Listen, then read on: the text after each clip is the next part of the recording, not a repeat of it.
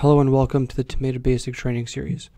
Today we'll be covering maintenance within the Temeda mobile application. There's a number of different places where maintenance can be viewed and logged within the Temeda mobile app. The first is from the home page. You can go to the maintenance card in the bottom right. Selecting this card will show you the current status of all of your maintenance.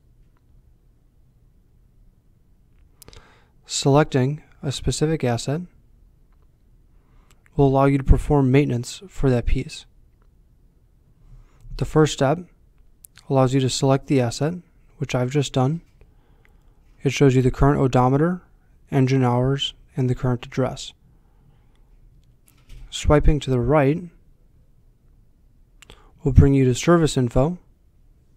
Here you're able to select the maintenance schedule or plan that you're performing. You can input the current odometer, the current engine hours, and the date of service. Additionally, you could add any service notes related to the maintenance. The third step allows you to add documents. Here you can add images or upload files related to this maintenance. The fourth step allows you to include any invoice, work order information, part cost, labor cost, and your technician's name. Here you can save the log. Once you save the log, it'll bring you back to the home page. In this example, I'm just going to cancel out.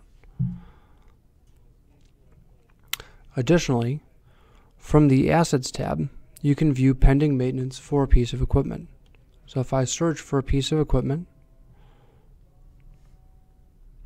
and select that piece, in the bottom of the screen you can see the maintenance icon. Selecting this will show you the pending maintenance for that piece. And if you hit the service history button, you can see the service history of that piece of equipment. This includes the total cost of the maintenance. Thank you for watching the Temeda Basic Training Series.